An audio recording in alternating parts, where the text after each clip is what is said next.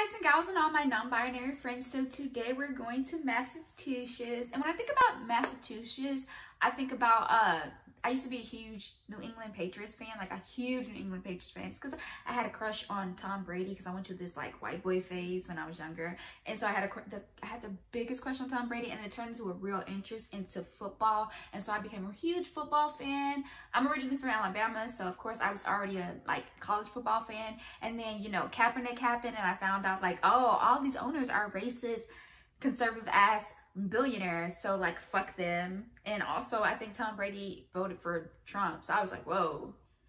You know how you know you can't hold on to all your heroes, and that's okay. Let them go. Let them go, girl. It's okay. I just probably offended so many people, and I'm sorry. But he, no, Tom Brady's gone, so we can talk shit about him, right? That's fine, right? Okay, anyway, I don't really care.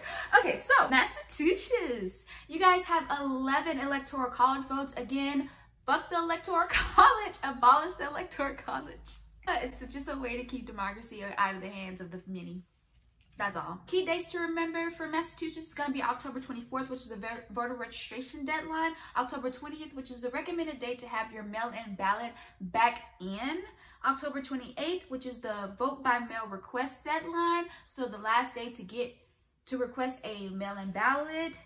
Um, October 17th to October 30th, which is the day before Halloween, is going to be the early voting dates.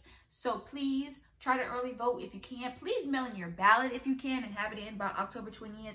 And of course, November 3rd, which is the election. Are you ready for November 3rd? You cannot register the same day you want to vote, so register now. Leave this video, forget everything I've said, leave this video, and go register.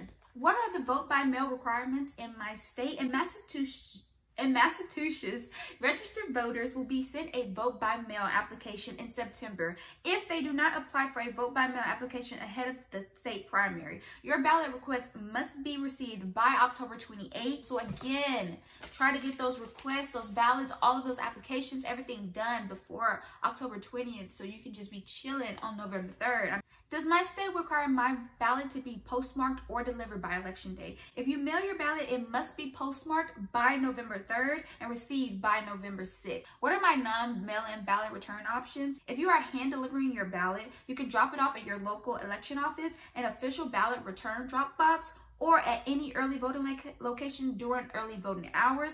Contact your local election office for the location of any secure drop boxes they have provided for your ballot return.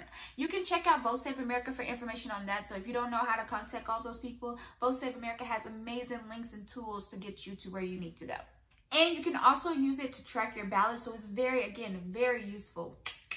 A1. There's a reason why I named the series after the website. It's amazing. What if I request a vote by mail ballot, but I decide I want to vote in person instead? Ooh. It depends. If you mailed your early ballot back and it was accepted by your local election officials, then your ballot is considered to be cast and you can't vote in person.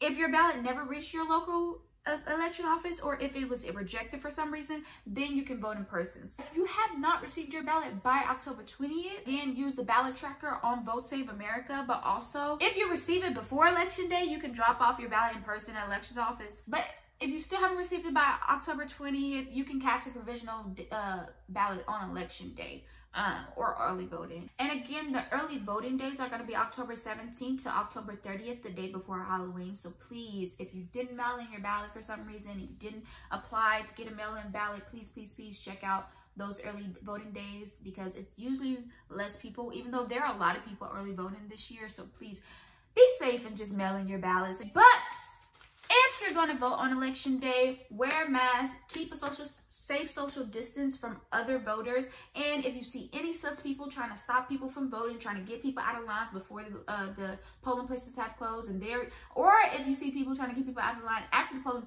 place have closed, but they were there since the polling place opened, check, call 1-866 our vote because everybody voices deserve to be heard. In Massachusetts, all 40 of your state Senate seats are up, so all 160 state representative seats are up. So please, are literally living in Massachusetts, your district seats are up, so please, please, please check out Ballotpedia to get information on the candidates and who's running in your district. There are no judges planned for the November 2020 election.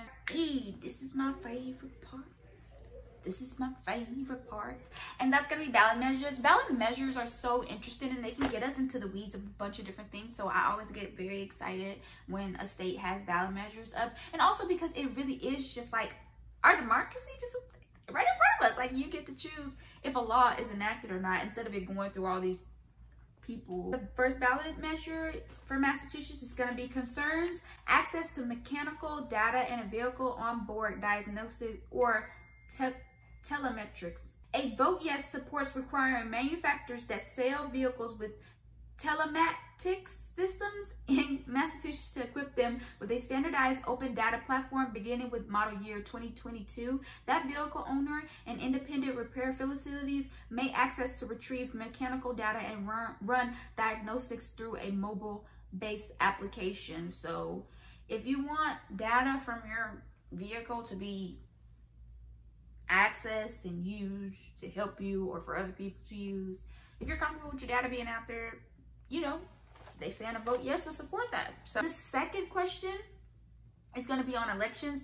Enact a ranked choice voting system for elections in Massachusetts. You guys, so I love a ranked choice. That's why I said these ballot measures get us into all these conversations. So ranked choosing is when instead of choosing between a, um, so in the primary, let's take the Democratic primary, for example, instead of just being like, okay, I'm voting for Joe Biden, you would be you will be able to choose like, okay, this is my first uh, candidate, then this is my second candidate, this is my third candidate, this is my fourth candidate. Basically, you, then you have a chance of, okay, even if my first candidate doesn't get it, I have a, I have a second on the ground. So even if my first candidate, maybe a lot of people voted for my second candidate, and now my second candidate has a chance. So ranked choosing really is just giving us better options and more of a choice, which again, uh, we love a democracy that works for the people.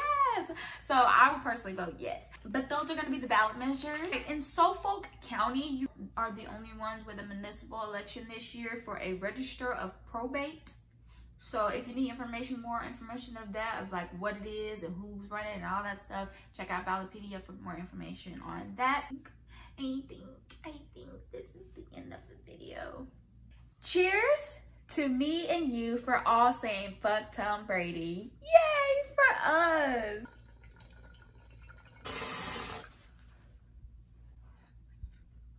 I'm gonna be so I like if I have been any people in Massachusetts who still are for some reason riding with Tom Brady. I hope you still go out and vote. but um yeah, take care of yourselves, take care of each other. wash your hands, wash your face, wear a mask, wash your ass, and don't be an asshole. It's just that simple.